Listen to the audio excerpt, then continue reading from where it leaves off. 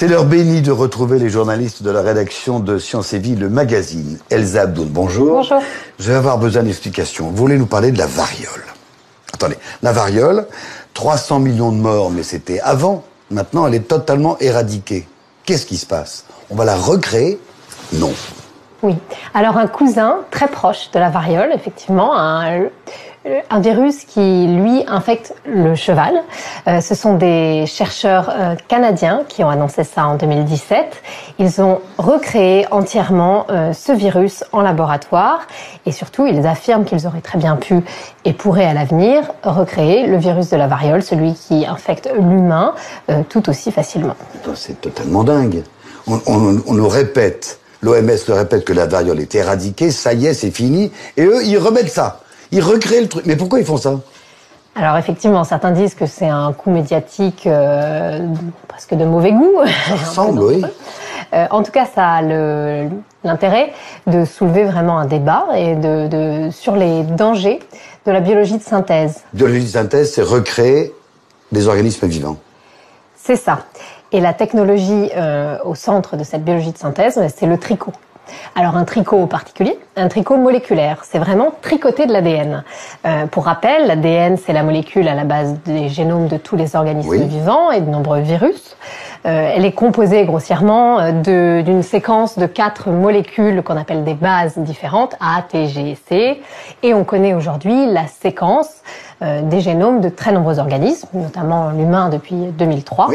Euh, et la biologie de synthèse, qu'elle va faire, c'est qu'elle peut euh, véritablement recréer des séquences simplement avec des simplement avec des machines extrêmement sophistiquées qui vont prendre un peu de A, de T, de G et de C et tricoter ça euh, dans l'ordre que l'on souhaite et recréer véritablement euh, des génomes. Est-ce qu'on peut synthétiser tout comme ça? Alors pour l'instant, les chercheurs s'arrêtent aux microbes, aux bactéries, aux virus. Par exemple, pour les virus, ce qu'ils ont fait, c'est qu'ils ont inséré ce génome viral du donc, virus cousin de la variole dans des cellules de mammifères en culture. La molécule, une fois insérée dans la cellule, s'est comportée exactement comme un virus naturel qui aurait été créé par multiplication dans la nature. C'est-à-dire qu'il va détourner la machinerie cellulaire, il va se multiplier, il va s'extraire ensuite de la cellule en créant sa propre enveloppe et il va pouvoir aller infecter de nombreuses autres cellules. On se retrouve véritablement avec des virus là, simplement en insérant la molécule dans une cellule de mammifère, on se retrouve avec plein de virus capables d'infecter euh, euh, exactement comme un virus naturel. Ça avait déjà été fait pour d'autres virus oui, depuis 15 ans, effectivement, euh, il y a déjà eu ce type d'expérience pour des souches de la dengue, du VIH, le virus du sida, la poliomyélite, et aujourd'hui, donc, ce fameux virus cousin de la variole, peut-être demain, la variole. Bah, la dengue, la polio, le VIH, donc ce serait un virus éradiqué, disparu. Oui, pour la première fois avec la variole, on se retrouverait avec la création en laboratoire d'un virus qu'on avait éradiqué. Et donc là, ça pose des questions inédites en termes euh, de risque. Euh, alors il faut savoir qu'actuellement la, la, variole, elle est conservée uniquement dans le monde dans deux laboratoires ultra sécurisés, un aux États-Unis, un en Russie. Euh, et que là, avec la biologie de synthèse, les chercheurs, ça ne leur a coûté que 100 000 dollars et un an de travail. Ça peut paraître énorme, mais pour un laboratoire de biologie moléculaire, c'est pas énorme du tout. Elle va devenir de plus en plus pervertie. Et c'est ça qui est fascinant dans cette évolution, et c'est peut-être pour ça qu'elle est le plus terrible. C'est qu'elle va récupérer tous les concepts, y compris celui de liberté. Je dirais même y compris les idées d'Illich dont vous parliez tout à l'heure. Parce que qu'est-ce que c'est cette société de machines qui nous apprend à nous surveiller nous-mêmes? C'est une société qui dit soyez libre, débarrassez-vous du médecin, soignez-vous vous-même, sortez de l'hôpital, ce que dit Illich. Et autrement dit, elle va, sous prétexte de liberté, sous prétexte d'autonomie, créer les conditions de l'aliénation la plus formidable, qui est en quelque sorte l'aliénation par soi-même, volontaire, à une norme imposée de l'extérieur. On nous dira, il ne faut pas fumer, pas conduire, pas boire, mais aussi euh, pas avoir tel gène dans, dans sa structure héréditaire. Si vous l'avez, vous êtes extérieur à la norme, faites tout ce que vous pouvez pour vous en débarrasser. Et autrement dit, on fera que ce qui est la forme absolue de la dictature, que chacun d'entre nous ait librement, entre guillemets, envie d'être conforme à la norme. Et ce qui est fascinant, c'est que c'est à travers la médecine, à travers le bien et le mal, à travers le rapport à la mort, que cette nouvelle forme de société totalitaire est en train de s'installer. Pour ce que vous appelez les maladies psychosomatiques, la société industrielle aura aussi des réponses, qui consisteront certainement aussi, là encore, à faire sortir ce type de maladie du, cabinet du médecin. Soit par des drogues.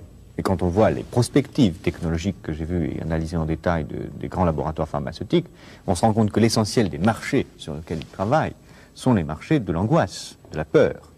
Euh, c'est l'essentiel des marchés des maladies psychosomatiques.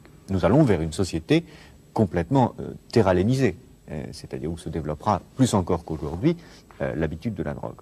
Car il est bien connu en, art, comme, comme en maîtrise des foules, que la meilleure façon de créer du plaisir, c'est de le faire précéder d'une douleur. Le problème, c'est l'angoisse. La solution, ça va être les drogues. Et ce qui est fascinant, c'est que lorsqu'on regarde, comme j'ai essayé de le faire, chacune des étapes de l'évolution du mal dans les, années qui viennent, tout semble se passer comme si chacun des pas de l'évolution était un progrès, mais en fait l'aboutissement est abominable. Et c'est ça qui est absolument terrifiant dans cet engrenage, c'est que ça paraît mieux à chaque fois, mais qu'au bout c'est affreux. Vous me faites penser à l'expression qui dit euh, Nous allons au bord du gouffre, mais je vais vous faire faire un grand pas en avant. Voilà. C'est un petit peu ce qui risque de se produire. 30 millions de moustiques fabriqués par Bill Gates en Colombie. Objectif la dingue, le chikungunya et les vaccins. Une simulation de pandémie de variole du singe a été organisée en mars 2021 par des organismes financés par la fondation Bill Gates. C'est quand même assez marrant. L'Afrique vient de déclarer l'état d'urgence sanitaire pour la variole du singe et Bill Gates vient d'y faire une campagne de vax. Et en amont, on trouve cet essai de Bill Gates en 2021.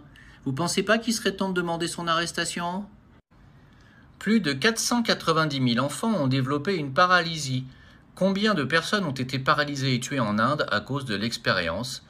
Due, alors là il n'y a pas plus, mais c'est en fait la vaccination contre le papillomavirus, je crois, en Inde. Il y a un mandat d'arrêt contre Bill Gates en Inde. Bill Gates prône l'introduction d'insectes génétiquement modifiés dans l'alimentation humaine. Un pédiatre s'alarme du projet de Bill Gates de vacciner 500 millions d'enfants d'ici 2030.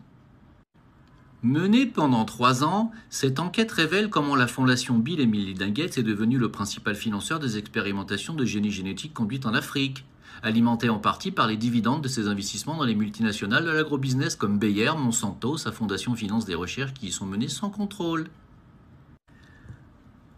Le 29, le 29 juillet dernier, Bill Gates est venu rencontrer Emmanuel Macron à l'Élysée. Aux États-Unis, une start-up développe un beurre synthétique validé par Bill Gates. Le psychopathe en chef Bill Gates se mêle de tout. Il soutient la première expérience en haute altitude d'une solution radicale au changement climatique, la création d'un nuage chimique massif qui pourrait refroidir la Terre. Sincèrement, est-ce qu'il serait peut-être pas temps de le mettre derrière les barreaux?